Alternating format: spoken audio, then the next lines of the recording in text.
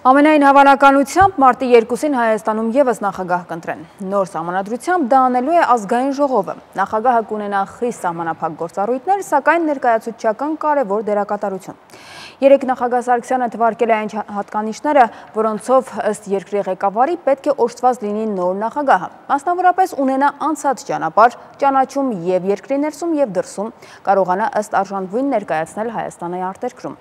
Ապագա նախագահը Սերժ Սարգսյանի պատկերացման պետք է տիրապետի օտար լեզուների ունենա լայն կապեր թե Սփյուռքում, թե Հայաստանում, վայելի հեղինակություն։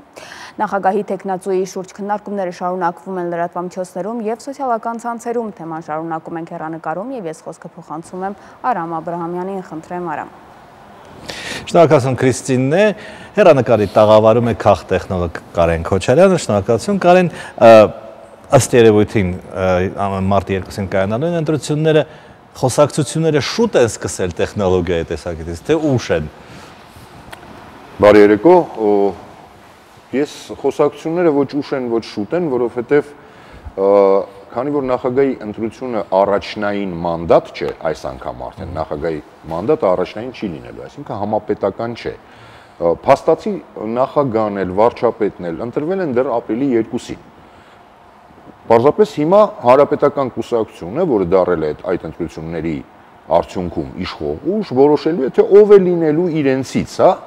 իրենց առաջադրած տեխնացու։ Ինչ է նշանակում իրենցից։ Իրենցից ես նկատի ունեմ ում որոշի հանրապետական կուսակցությունը, իսկ ավելի ճիշտ հանրապետական կուսակցության ղեկավարը որովհետև կարող է նա հանրապետական կուսակցության հետ կապեր չունենա, հա, ինչպես նախագահն է ասել, կարող է ընդհանրապես քաղաքականությամբ զբաղված մարդ չլինի։ Ըստ համանadrությամբ նախագահը պետք է լինի ոչ կուսակցական, սկսենք դրանից, բայց դա դեռ չի նշանակում, որ կապ չունի իշխանության հետ, միևնույնն է, պետք է որոշի հանրապետական կուսակցության ղեկավարը պետք է քվեարկի ազգային ժողովը, որի մեծամասնությունը հանրապետական կուսակցությունն է։ Իսկ տեխնոլոգիայի տեսակետից ճիշտ է, ինչ որ անուններ ասպարեսը շպրտելը ստուգելու համար հասարակական արձագանք։ Դե դա նոր տեխնոլոգիա չի, դա հին տեխնոլոգիա է, երբ տարբեր անուններ են գծվում, ընդ որում այդ արանքում մարդկա ինքը իրեն իր անունն է գցում մարդկա իշխանությունը հա փորձարկում է հասարակության ռեակցիան է փորձում ստուգել դա նոր տեխնոլոգիա չէ արվում է ես կարծում եմ այս անգամ էլ է այդպես եկեք անցնենք անուններով նախ հերկվածները Գագիկ Հարությունյանը ասել է որ չի ուզում Արմեն Սարգսյանը չի իրավունք չունի 6 տարի չի ապրել Հայաստանում հա չէ եթե դեսպան է դեսպանը համարվում է Հայաստանի Հանրապետության Նա նա Հայաստանում բնակված պետք է լինի։ Չէ, հա դեսպանատունը Հայաստանի Հանրապետության տարածք է։ Լավ, Արմեն Սարգսյանը մնաց տեխնացուների մեջ, հա։ Ես կարծում եմ այո, որովհետև դեսպանը համարվում է, որ նա բնակվում է Հայաստանի Հանրապետությունում։ Իսկ Հովիկ Աբրահամյանը ասաց ասացին, որ չի լինի, Ռալֆ Իրիկյանը Հայաստան միայն Հայաստանի քաղաքացի չէ, ինչքան հասկանում եմ։ Ես անգամ Ռաֆ Վիրիկյանի տարբերակը չեմ էլ քննարկել։ Ահա, པարզ է։ Ես ինքս եմ այսօր գրել, պարզապես գրել եմ։ Բայց չեք գրել։ Գրել եմ, որովհետև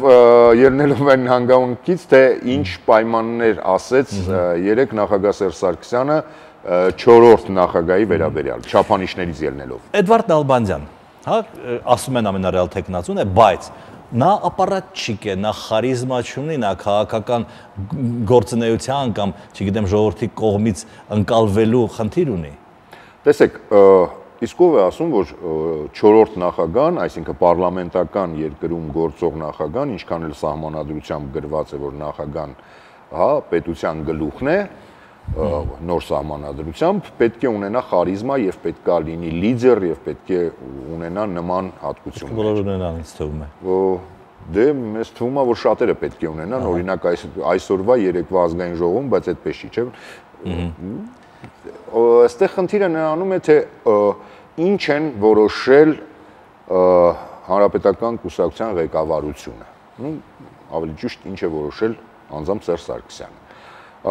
անկախ նրանից, սկսենք նրանից, որ անկախ նրանից ով ինչ պաշտոն կզբաղեցնի, կմնա Սերժ Սարգսյանը որպես վարչապետ։ Կասկածում եք։ Ես կարող ես հիմա տալիս եմ տարբերակներ, որը որը որևիցե մեկը չեմ բացառում, որովհետև սա Հայաստանն է եւ վերջ։ ամեն ինչ հնարավոր է եւ սա քաղաքականություն է։ Անկախ ես դրա համար եմ ասում, անկախ ամեն ինչից։ Մոտ մոտ ապագայում միևնույն է, անկախ նրանից Սերժ Սարգսյանը կլինի վարչապետ, չի լինի վարչապետ, կլինի միայն հանրապետական կուսակցության նախագահ, որ շենքում կնստի, մնալու է ամենաազդեցիկ քաղաքական ֆիգուրը մոտ ապագայում եւ Սերժ Սարգսյան Կարեն Կարապետյան տանդեմը աշխատելու է, շարունակելու է աշխատել։ Քանի տարի է, 10, 20։ Խոսքը գնում է, տեսեք, բոլորն ասում են ապրիլի 9-ով, հա, սպասում են ապրիլի 9-ին, բայց ապրիլի 9-ով չի ավարտվում ոչ մի բան։ Ավելին, ապրիլի 9-ով սկսվում է ամեն ինչ, որովհետեւ ապրիլի 9-ով սկսվում է նոր ցիկլ, նոր պարլամենտական արդեն երկրի պարլամենտական ցիկլ, այսինքն մինչև 22 թվականի պարլամենտական ընտրություններ։ Այ այդտեղ պետք են արդեն հա պետք է հասկանալ ով է հաջորդը լինելու, ով է ինչ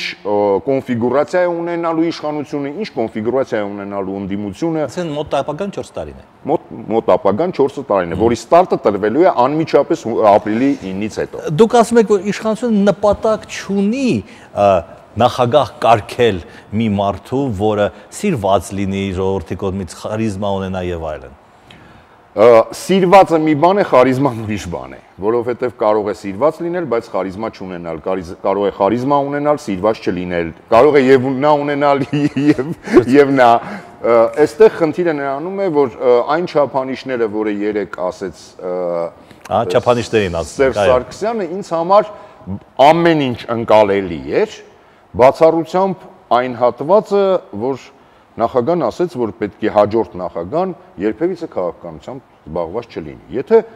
խոսքը այդ այդ դեպքում ոչ մեկը չի անցնում։ Մեր թվարկածները ստեղծագործական միությունների նախագահները կարող են դառնալ կամ ֆեդերացիաների կամ ինչ որ սպորտսմեններ հայտնի հա Հենրիկ Մխիթարյան, չգիտեմ։ Լևոն Արոնյան։ Լևոն Արոնյան, մետ էլ 40 տարեկան, եթե չեմ շփոթվում, չկան, որովհետև սահմանադրության 40 տարին պետք է լրացած լինի։ Հա չգիտեմ, Տիգրան Մանսուրյան բոլորը սիրում են եւ Սփյուռքում եւ Հայաստանում հարգված է, որևիցե ինչ որ բան չի, օտար լեզուներ գիտի, ամեն ինչը բռնում է։ Երբևիցե քաղաքականությամբ չի զբաղվել։